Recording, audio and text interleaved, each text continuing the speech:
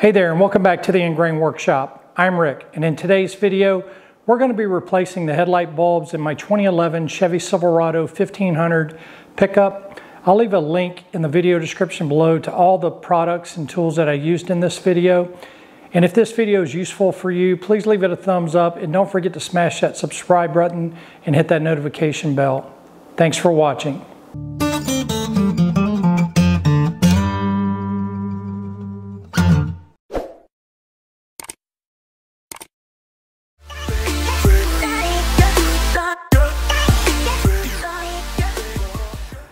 So this is my 2011 Chevy Silverado pickup truck.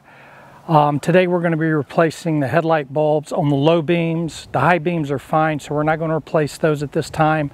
But if you wanted to, you could replace both the parking lights, the, the uh, low beams, the, the high beams, and if you wanted to uh, replace the entire headlight housing because maybe it's got dull over time and you've tried a DIY uh, video to try to clean it up and for whatever reason it didn't clean up and you just want to replace it, um, you can replace the whole uh, headlight uh, assembly and I'll leave a link in the video description where you can get that.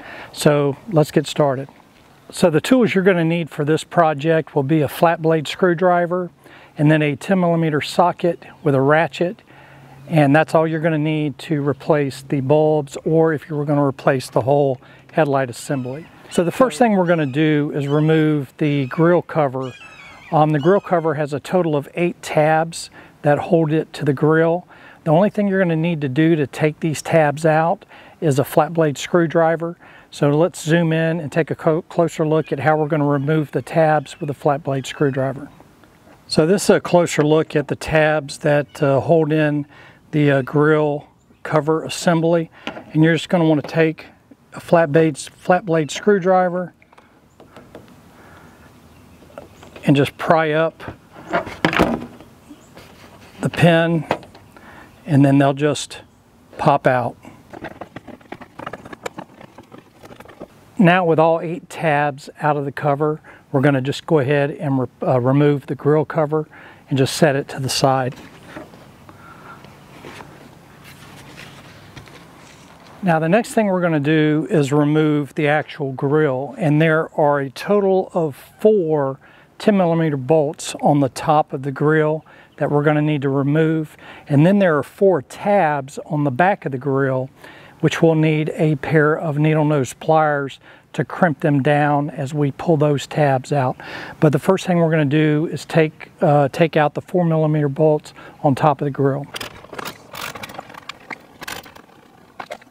So now with the four uh, 10 millimeter bolts removed from the top of the grill, now we're going to go around to the back side of the grill and remove the four tabs that hold the back side of the grill uh, in place. And to remove those, you just need a pair of needle nose pliers just to crimp uh, the tab down and then you're able to just pull out pull out the, uh, the grill. So let me show you a closer look at that.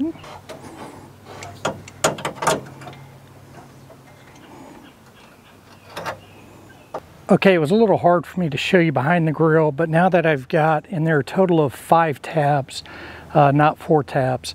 So um, let me go ahead and remove the grill and then I can show you better once it's out.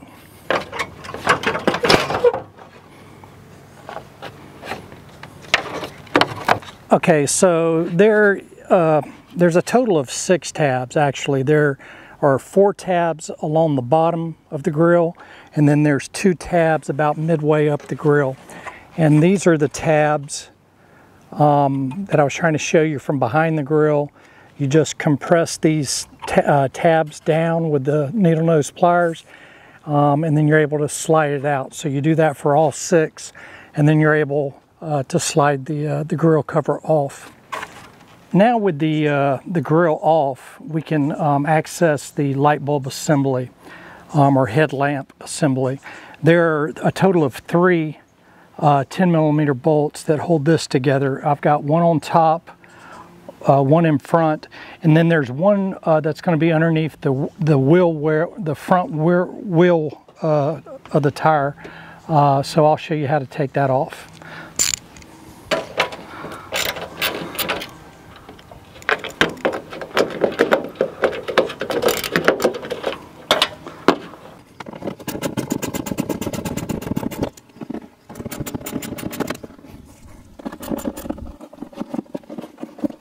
Then here at your front wheel well, well, there's a 10 millimeter bolt right here that you're going to have to remove. And then you'll be able to access behind this plastic um, wheel, real wheel well. And there is the other 10 millimeter bolt that we're going to have to remove. Once we remove this 10 millimeter bolt, then we'll be able to remove the headlight assembly. Now with the three 10 millimeter bolts loose from the headlight assembly, we should be able to take and then just slide it out.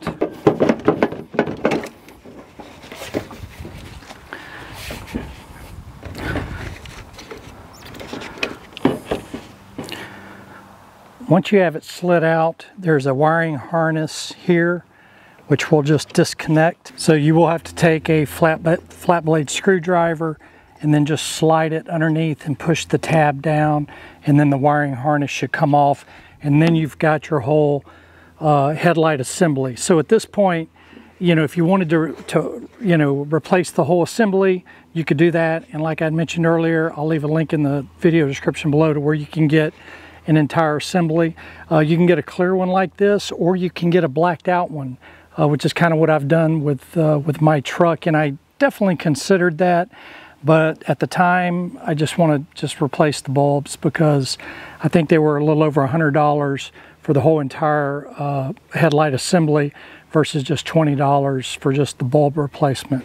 Um, so as you can see here on the inside, um, there are uh, two two bulbs. You know, one's going to be for, I've got it upside down. This is going to be your low beam, which is your regular running lights, and then your high beams. Um, like I had mentioned before, my high beams are fine. So right now I'm just going to replace the, uh, the low beams. So they should just twist and come out like so. And then we're just going to replace just the bulbs. So these are the replacement bulbs that we're going to be using. Uh, they're a Sylvania uh, H11 and I'll leave a link in the video description where you can get these bulbs. Like I said, I think they were around 20 to maybe $25. Um, and again, this is just for the low beams or the running lights. Um, I'm not replacing the high beams at this time. The next time I, I do go to replace uh, the, headlights, I'll probably just replace the whole uh, headlight assembly and maybe go with a smoked uh, glass instead of just the, uh, the clear glass. Um, probably should have done it this time, but again, I just wanted to get the truck up and running again, so I just ordered the bulbs. So again, these just rotate counterclockwise. Okay, now with the, uh, the old bulb out, we're gonna put the new bulb in, and again, it's just a two-prong connection.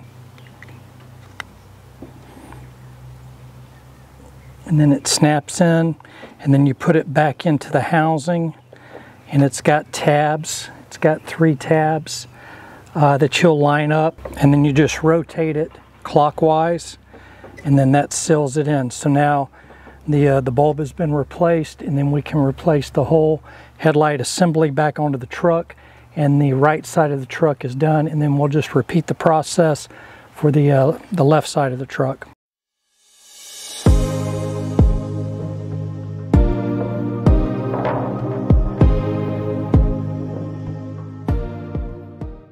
Okay, so the next thing we're going to do is replace the grill. Uh, like I had mentioned before, there's six tabs on the back of the grill, four on the bottom, and then two about midway up. We're just going to line up the, uh, the tabs for the bottom first.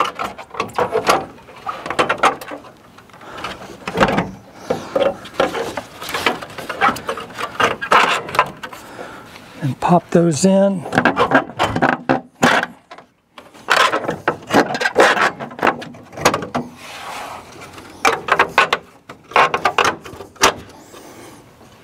Once you get the uh, four bottom tabs top uh, tap back in, then you want to do the, the two that are about medium height.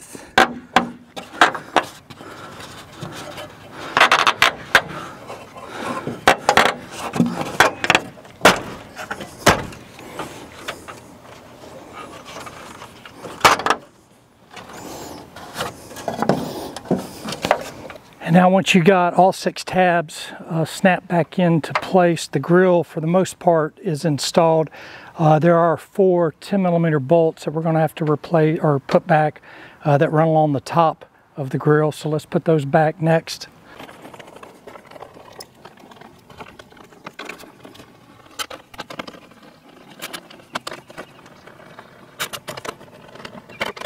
Okay, so now that we have the grill installed, the next thing we're going to do is install the grill cover that goes over the top. And as you recall, those were just plastic pins that we popped out. I believe there's a total of eight of them.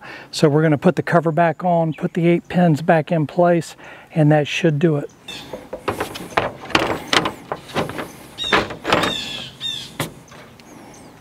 So again, here's a close-up of the, uh, the pins. And as you can see, we just popped them up with a flathead screwdriver. So then we're gonna just put them back in the hole and then press down on the top and that should lock these in place.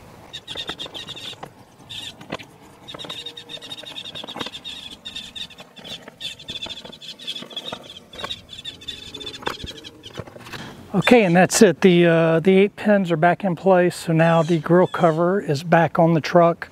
Um, everything uh, should be back in place. So now let's uh, test out the lights.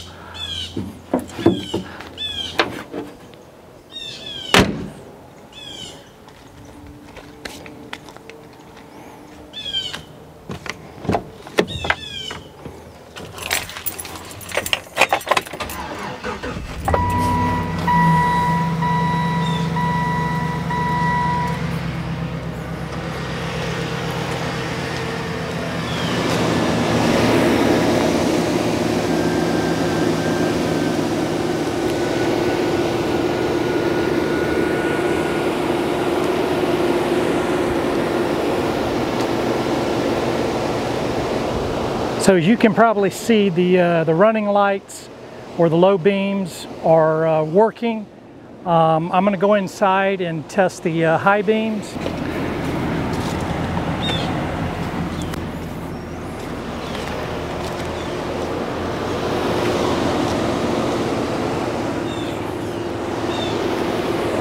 So as you can see, the high beams are working on the right side of the truck.